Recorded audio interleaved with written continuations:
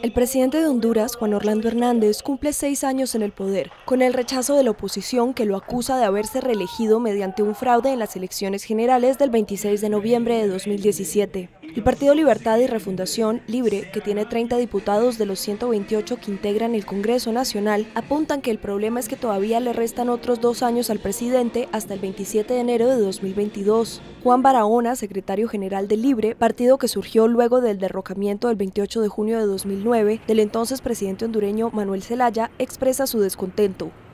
Son dos años que vamos a tener más de lo mismo y un poco aumentado. Más represión, porque este gobierno hay que decir que eh, este régimen se mantiene por el respaldo que le dan las Fuerzas Armadas.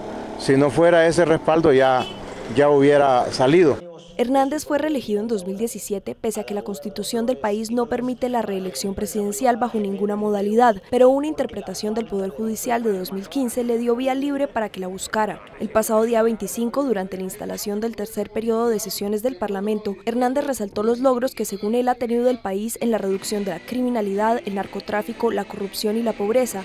En estos seis años de gobierno, logramos reducir en más de 50% las muertes violentas. Muchos decían que era imposible.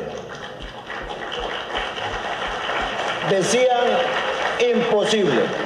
Sin embargo, esa lucha va a continuar contra los narcotraficantes, maras y pandillas, bandas criminales. Le reitero que los seguiremos buscando hasta debajo de las piedras para que no le sigan haciendo daño.